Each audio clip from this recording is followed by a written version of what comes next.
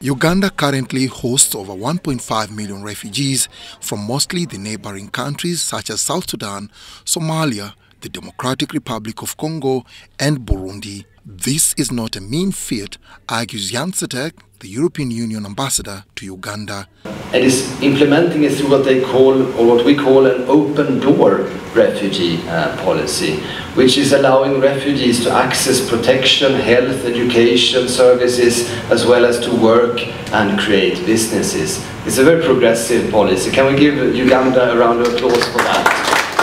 Besides offering refuge, the country is lauded for socially and economically empowering the refugee population, especially the youth. Uh, we have witnessed first-hand resilience, strength, and the potential that refugees bring to our communities, which is why we, with uh, open arms, we received the Humanitarian Development Nexus, where we ensure that we are not only um, advocating for humanitarian support, but development support as well for both the refugees and the host communities.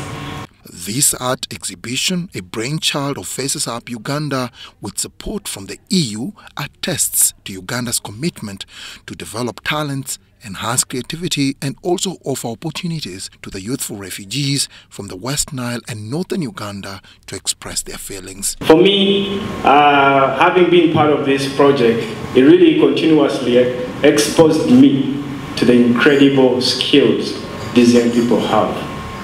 Most times, they are going through a lot of adversity, but regardless of whatever that they're going through, they are very resilient, they are very creative, and they had the pleasure to share with us their hopes, but also their dreams through their artworks. At the EU, we are passionate about empowering young people to become active citizens in their communities, and I personally strongly believe in the power of art as a platform to give a voice to young people.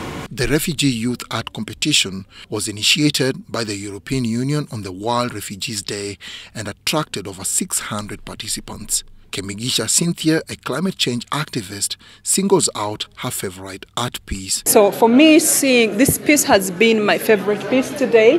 It is Plant a Tree, Save the Environment. I can imagine some of these children or these uh, people have come from communities where they've been displaced because of climate change. So this art is really communicating so much. They the art pieces communicate messages of access to justice, environmental protection, education, empowerment, and self reliance, among others. Dennis Sigor and Winnie Katwire for UBC News.